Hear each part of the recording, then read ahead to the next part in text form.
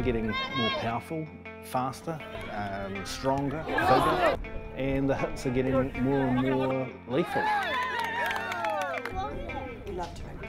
Oh yeah, I love rugby and I almost died for it. Word firm, it's all that conditioning you've been doing. Yeah, rugby is one of the sports where the risk or the chances of having traumatic brain injury pretty high. People sustaining significant brain injuries and playing rugby should seriously consider not playing rugby.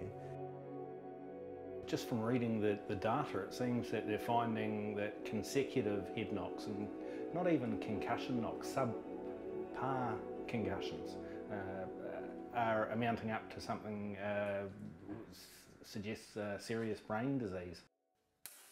Aggression, depression, enough of a disruption, according to the players involved, to mess up their marriages, their families, uh, to cause complete dislocation with the people around them.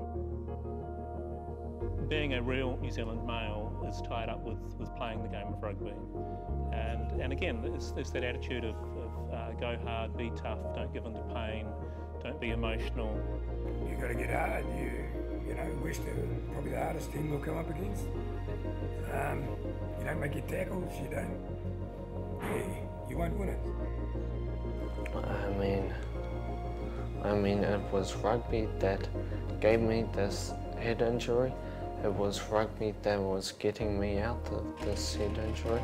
And it was my dad's hard work at the start and now my